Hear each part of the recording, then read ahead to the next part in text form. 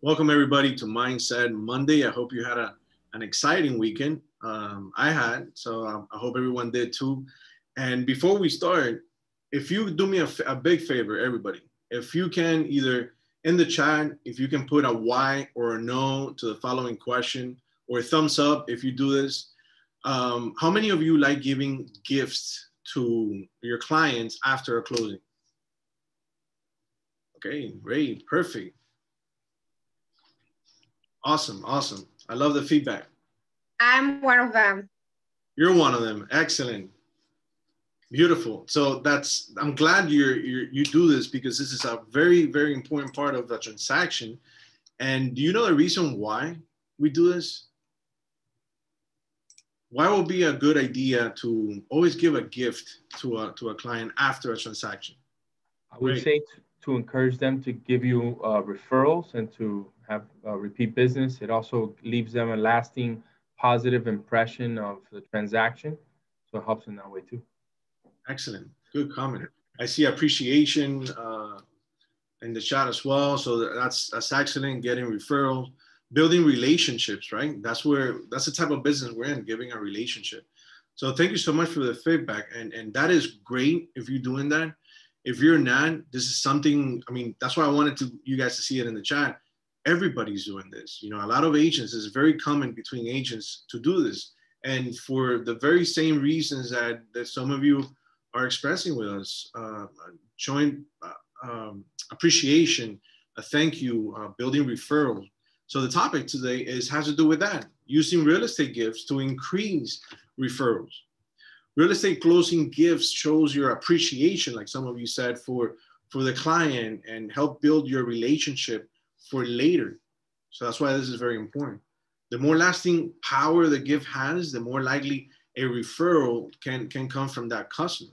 It's the best way to cap off a successful relationship, I would say. Some people do like a home warranty. It's, it's a typical gift. I never done one, but who knows really when they was that gonna get used. So there are better ways to show your appreciation. So I'm gonna talk about a few ideas about the type of gifts that you can give, what to do, what not to do. So the first thing that we'll mention, it, it will be to don't make the gift about you, right? Something with your company logo or on it, it's it's not such a great idea if you think about it. A lot of us think to say, okay, how, what kind of gifts I can give, and I want my company logo. I want my personal branding on on the gift. So that's not always a good idea. You want the client to remember you, but how much time would will there be before they take something that's branded, an item that's branded down, right? Eventually they'll get rid of that. So no one wants something branded in the middle of their house. So make the gift instead of doing it about you, make it about them, right? It's the only way you can have some lasting power. So don't give them anything where your name or initials. Uh, if it's a it's a thoughtful gift, think about it. If it's a thoughtful gift, they'll remember you for it. Give them the gift in person. How about that? Sending it in the mail or dropping it off just not it's not the same as delivering it in person, right? In person, it's more sincere. It's it's personal, right? It, it, a lot goes into it this is where you can ask for referrals and reviews, right? Because now you get into a conversation with them. It is one of the best time to ask. Giving the gift and asking for referrals. Mailing the gift takes away that opportunity that you have. Plus, although it's a building a relationship, just sending them the gift, but when you do it in person, again, that relationship gets a lot stronger. You might you have an opportunity to create a, a lasting bond. So make it personal. Make it personal to them. So like I said, it's not it's not about you. Since you work with them for a few months, you should have a good grasp of what who they are and what they like. The gift can be relevant to the taste and, and what you learned about them. Then it will mean something to them, right?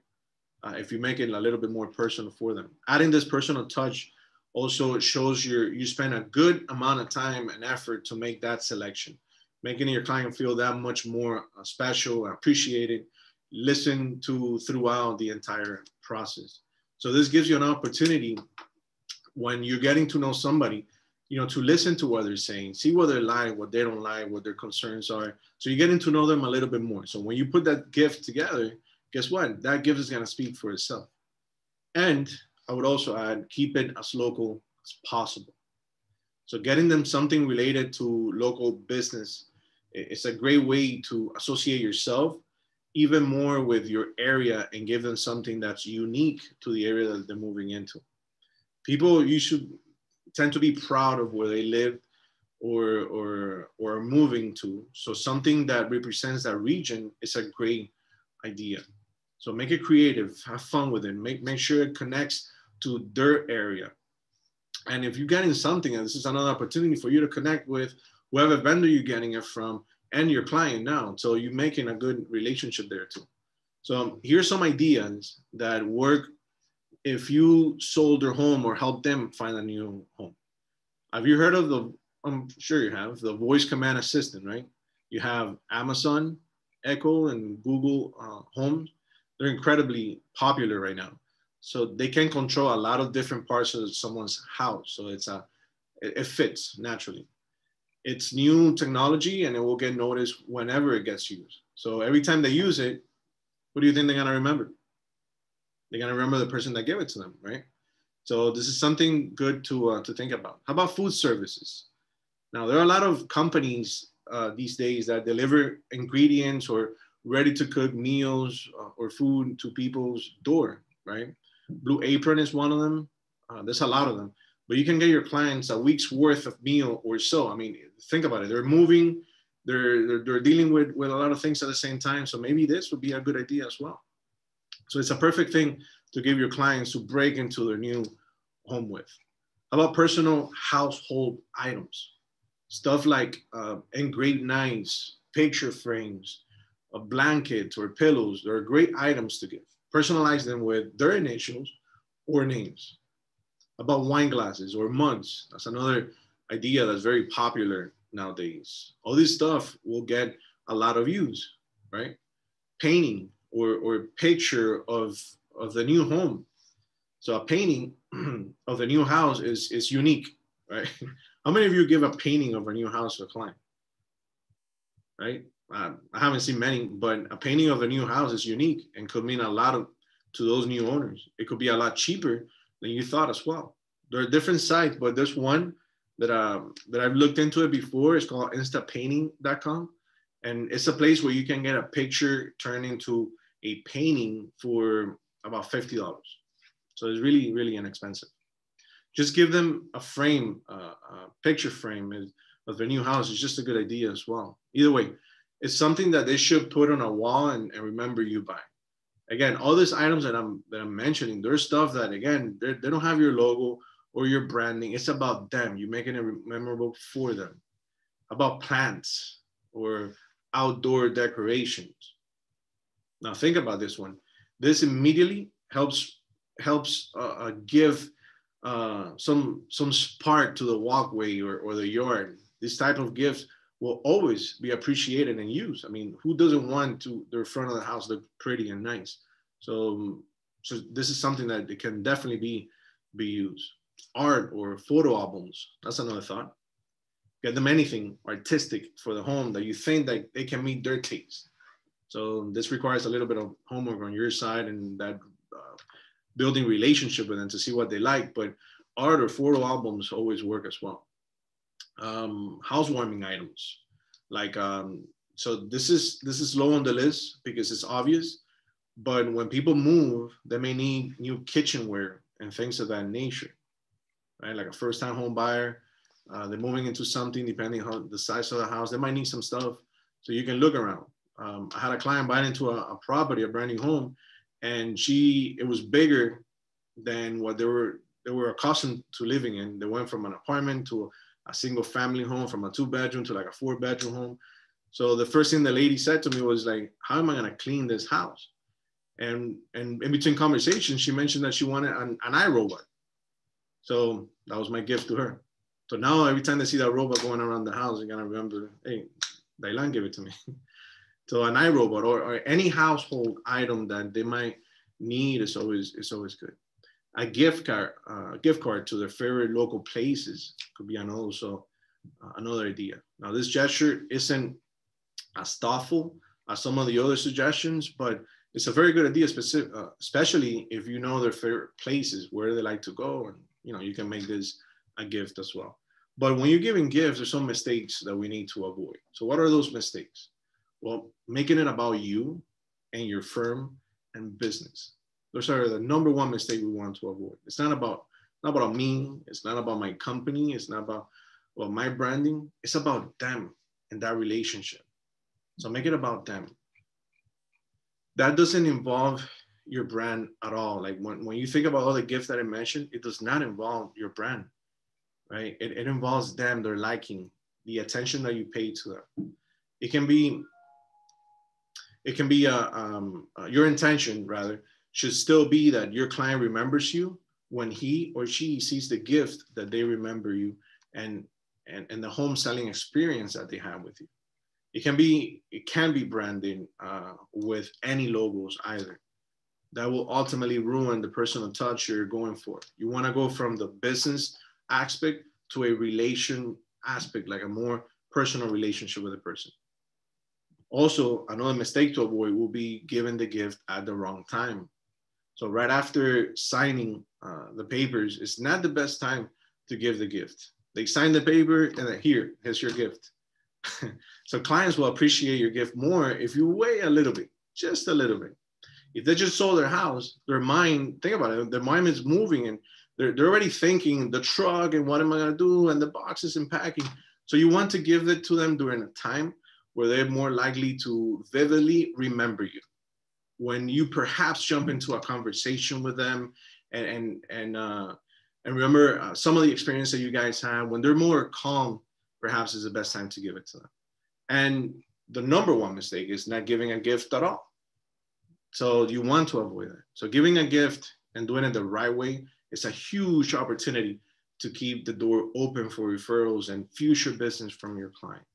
By no means it, it is it necessary to give a gift at the end of the business, but it's also never required to go the extra mile as a realtor ever. So this is an act that builds your relationship with your client, and it should happen with every transaction that you do. So those are my thoughts on on what to do, what not to do, and why you should give um, give to to your client and build that relationship with them. Once again, we're in the business we're in the business of building relationships rather than just focus on transactions and the, the check that we'll get at the end. Now, there's a lot of stuff that, um, let me see, I think Jane is saying something, says, I have one client whose criteria for a home was a large yard for plants. I found them at home with a 12,000 square feet lot and first gifted her a, a mango tree and then took her to a great nursery where she got to buy enough tropical fruit trees and plants to fill to fill my SUV. Also like gifting, okay, cool. That's awesome. That's awesome, Jane. Thank you for sharing that. Yeah, so I'm pretty sure at one point we've always thought about that something unique that fits the client perfectly, like Jane's example here for. All right, so there's all other other forms. Like sometimes it, it be beyond the gift idea. There's other things that you can do. For example, what to say, when to say it, how to say it. Right. Sometimes we struggle on on this point.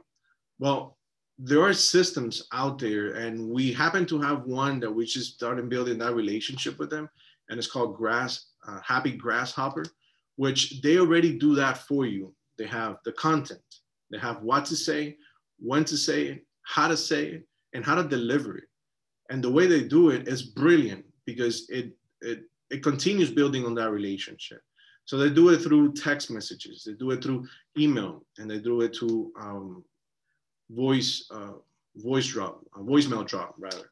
So there's a, a little things that you can add to it that perhaps it will help your branding. And guess what? It's coming from you, right? And you're the one building that relationship. Now you're putting an autopilot to continue moving forward and building that relationship. So um, I encourage you to look into that, which is acquire um, that company to help us with some of the services and to help you as well. I put it to use, and so far I'm, I'm liking it, and and I just started sending it out, and and so far I like it. So I really really encourage you to give it a try. If you want to know more about it, feel free to give me a call or call Steve or call Armando and, and we'll walk you through it. It's super simple and it's really fun to do. And it connects to your side, it connects to your other CRMs and you know, it's very, it's very, uh, it's really interesting. So, and this is for our Broker Nation agents as a, an added feature that we're helping our agents to build that relationship, build your SOI, work on your sphere, um, and so you can continue getting more referral and more business. So with that said, that is ha- that is I was gonna say happy uh, grasshopper. That is mindset Monday, guys. Uh, Steve, what do we got? Yes, great, Daylon. Uh, happy, and I dropped the link for the Happy Grasshopper um, offered uh, explicitly for Broker Nation agents.